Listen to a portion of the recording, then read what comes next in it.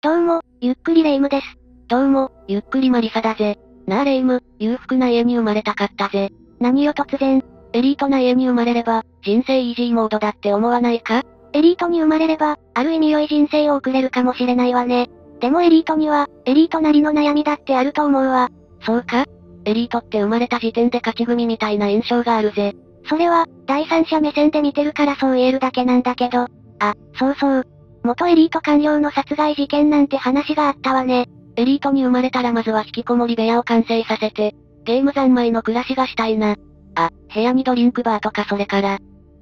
あ、それでその事件はどんな事件だったんだ？これは、いろんな要因が絡み合って起こった事件で。あ、家から一歩も出ないために部屋の隣がコンビニとかもいいんだぜ。マリサ、人の話を聞く気はある？まあいいわ。ということで今回は元エリート官僚長男事件を紹介するわ。それじゃあ、ゆっくりしていってね。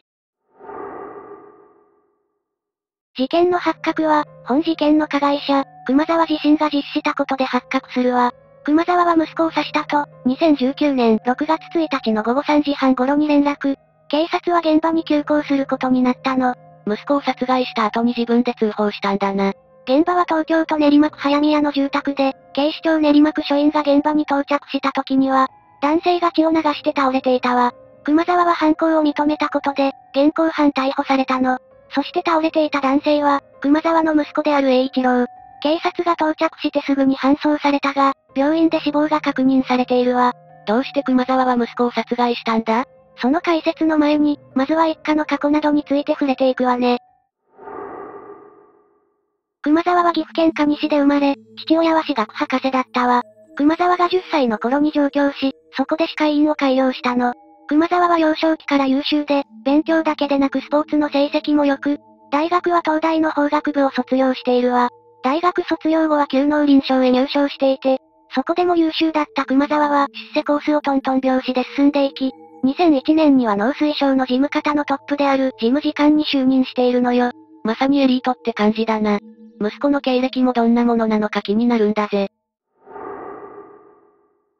1975年、優秀な父親である熊沢と、名家の令嬢である母との間に生まれたのが被害者である栄一郎。栄一郎は、父親の仕事の関係で6歳までアメリカへ。帰国してからは新宿区にある国家公務員の官舎に住んでいて、廊下で走り回るなど無邪気な幼少期だったと言われていたわ。そして母親は、教育熱心で特に勉強に力を入れていたの。いうところの英才教育というやつね。エリートといえば英才教育ってイメージがあるよな。栄一郎は父親に似ていたのか、英才教育あっての成果か、偏差値が70を超えていたわ。1987年には、都内でも随一の中高一貫の名門校へと進学したの。聞いてると、まさにエリートな家庭って感じだな。名門校にも入れて親子ともに嬉しかったんじゃないか？まあ、ここまではって感じね。名門校に進学してからは母親の教育がさらに過激になっていくの。栄一郎がテストで悪い点を取ると、おもちゃやプラモデルを破壊してしまうくらいにね。たまに SNS なんかでもそういう親の存在は見たりするな。そういった教育は、栄一郎にとってとても辛いものだったため、宝物と言えるおもちゃを破壊されないようにするためだけに、勉強を頑張るようになるわ。そして中学に入ってから栄一郎の人生が壊れ始めるの。中学に入ってからはクラスメイトから仲間外れにされたりと、いじめの標的になってしまい、次第に学校へ行くのが辛くなった栄一郎は、不登校になってしまうのよ。さらにそのストレスが原因で、暴力的な行動が増えるようになるわ。具体的にどんな行動をとったんだ？教育の過程で母親におもちゃを破壊されていたことから、憎悪が膨らんでいたため、母親に手を挙げることもあり、SNS ではグボと罵倒する投稿をしていたわ。それだけストレスが溜まっていたんだな。その後入学した中学校は中高一貫だったため、高校は無事に卒業。卒業後は大学や専門学校などを転々として、最終的には父親のコネで流通経済大学を卒業しているの。父親のコネで大学卒業って本当にある話なんだな。とはいえ就職業が決まっただ中であった栄一郎は、希望していたアニメ業界に就職することができず、義理の兄が勤める病院に就職することになるわ。就職もコネみたいなものか。そしてここから、栄一郎はさらに狂い始めるわ。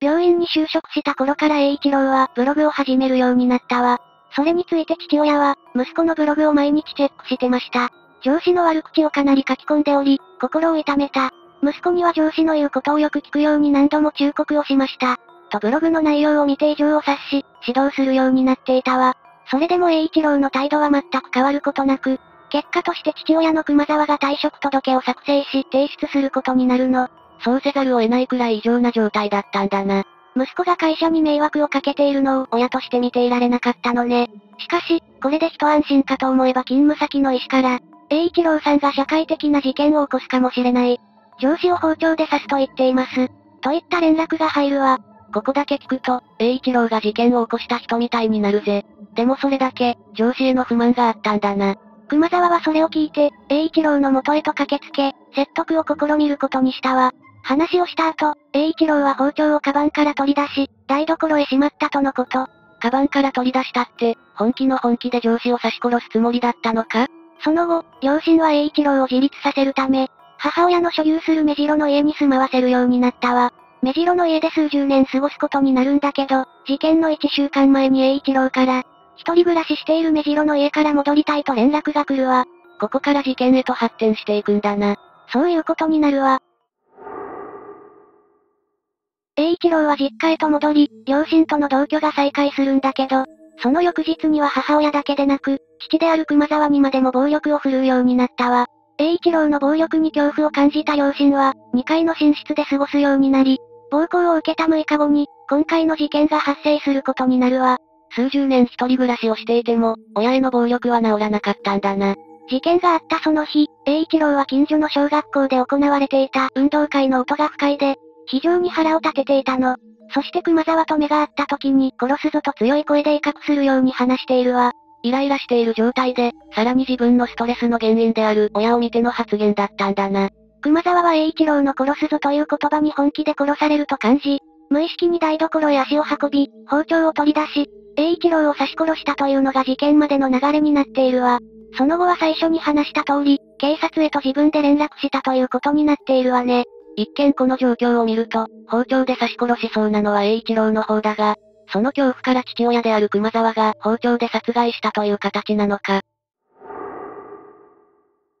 ちなみに栄一郎には9歳年下の妹がいたらしいんだけど、いたらしいってどういうことだ？この事件の5年前に亡くなっているのよ。もしかしてその原因も栄一郎なのか？そうなの。詳しい情報があまり残っていないから、はっきりとわかっていない部分もあるんだけど、妹は栄一郎が原因で縁談があっても、すべて台無しになっていた過去があり、妹はそういった積み重ねで精神的なダメージが蓄積され、自らの手で命を絶ったと考えられているわ。兄が原因で自分の人生が狂わされて、精神的におかしくなってしまったんだな。また、母も栄一郎の暴力によりうつ病を患っており、栄一郎自身は発達障害の診断を受けていたわ。なんかエリート家族の印象がガラッと変わった感じがするな。もちろんこの家族の状況であって、すべてがそうというわけではないけど、イメージが少し変わるのは確かね。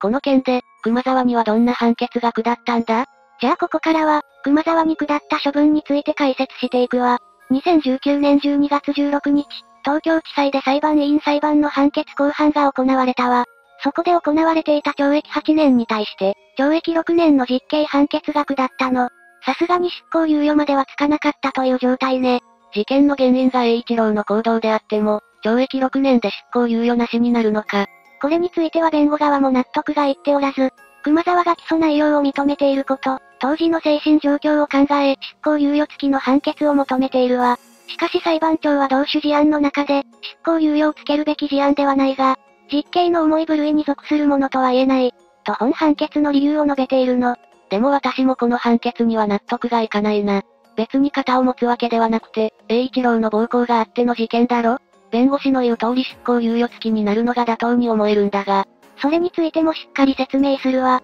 まずは熊沢が奥さんに心中をほのめかす手紙を書いていたことや、殺人罪の量刑について検索していた履歴が発見されたのよ。刑罰から逃げようとする姿勢が見られたと判断されている節もあり、栄一郎の行動を第三者に相談することが可能であったにもかかわらず、同居からわずか1週間で今回の事件に発展したことを重く見た結果でもあるわ。確かに、警察や病院に相談することはできるな。だけど、なぜ栄一郎の両親は相談しようと思わなかったんだ？家族間のトラブルを第三者に話すのは気が引ける、と思う人は少なからずいるからね。それに裁判中では外部に相談することに対して、相談すれば親子関係が悪化すると思った、暴行を受け精神的なショックがあった。と熊沢被告は答えており、母親も外部への相談を考えつかないほど怯えていたと証言しているわ。それに、精神的な問題があれば相談するという行動に出るのは難しいのかもしれないけど、栄一郎が中学生になってから始まった暴力について、母親は学校に相談していないという事実があるのよ。精神的なダメージは人によって違うが、その段階から相談するという選択肢が出ていない事実を考慮しての判決になったということなんだな。熊沢に絶対的な悪意があったとまでは言い切れないが、他の手段を選ばない、といった部分がポイントになったというわけね。とはいえ、その裁判から4日後、12月20日、500万円の保釈保証金を納付し、熊沢被告は保釈されているわ。殺人罪で実刑判決を受けた被告の保釈が認められるのは異例ではあるものの、再犯の恐れが相当低く、高齢で後半の態度などから逃亡や、証拠隠滅の恐れが低いと判断されているのよ。ただ、今回の事件では非難する声も多くあったわ。外部に相談できたのに殺害してしまったとなれば、非難の声も上がりそうだな。確かに熊沢への非難もあったんだけど、裁判所への非難の声もあるわ。え、そっちにも？さっきレイムが言っていたように、状況が状況なのにもかかわらず、執行猶予がつかないのはいかがなものか、自分が同じ状況に立たされたことを考えてみろ、というような声もあるのよ。他には父親としての責任を全うした、赤の他人を殺害する前に止めた、などという声も見られているわ。熊沢を擁護するような意見があったんだな。一方で釈放が認められたことに対して、社会的地位のある人間へ甘い刑罰を下すなという声もあったわ。なんか池袋のひき逃げ事件を思い出すんだぜ。まさにその通りで、今回の事件は、東池袋自動車暴走死傷事故を彷彿とさせるとして、ネット上では上級国民への甘い刑罰という声が上がっているの。また、幼少期の厳しい英才教育が原因であるための因果応報と書き込む人も現れているわ。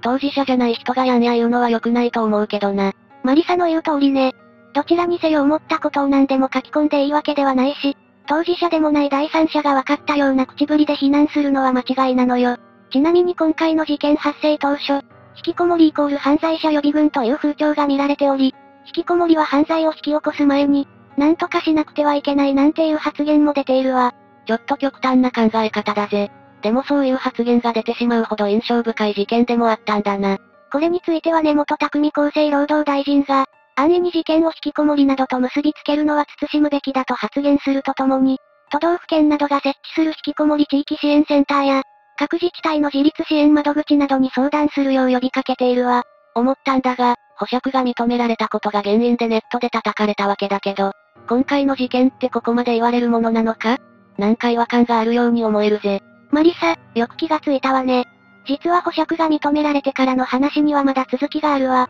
殺人での実刑判決として保釈自体が異例の決定ではあるんだけど、保釈が決まった後は実刑判決を不服として控訴しているのよ。え、急に態度が変わったっていうことか？そうなのよ。起訴内容を認めていた一審と打って変わって、正当防衛による無罪を主張し始めるのよ。栄一郎が殺すぞと言いながら攻撃してきそうになるのを見て、包丁で応戦したと説明しているわ。一審では正当防衛という説明はしてたのか？それがしていないのよ。一審では息子への償いから主張を控えていたと弁護人が釈明。これに対し、検察は1ヶ月前に熊沢が妻へ書いていた、とある手紙を指摘するんだけど、その内容が驚くべきものなのよ。どんな内容だったんだ？これしか他に方法はないと思います。という内容で、栄一郎の殺害をほのめかすものだったわ。それじゃあ正当防衛じゃなく、ある意味計画的犯行って見れるんじゃないか？まさにその通りで、検察はこの手紙は正当防衛ではなく、計画的犯行を証明していると指摘しているわ。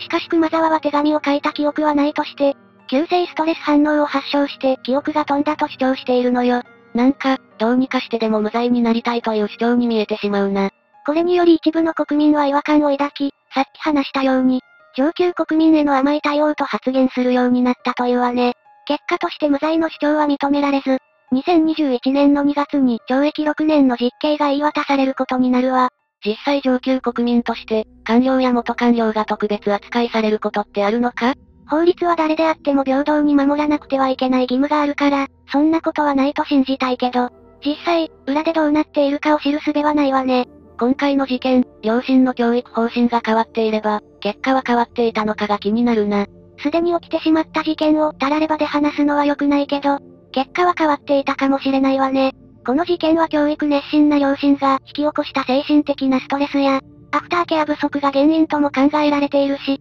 栄一郎についても発達障害があることから、家庭内暴力でなくとも暴力的な行動は引き起こしていたとも考えられているわ。何にせよ、家庭崩壊が原因で本事件に繋がったということになるわね。ちなみに栄一郎は、2019年の6月1日、事件当日の朝に SNS で、誰も一人では生きられない、と投稿しているわ。これは親の援助で生活していたということでの発言なのか？真実はわからないけど、孤独を感じての投稿なのか、それとも他人の協力が必要という SOS なのか、どちらにせよ、深く考えさせられる言葉には間違いないわね。というわけで今回は元エリート官僚長男事件について紹介したわ。それでは、次回もゆっくりしていってね。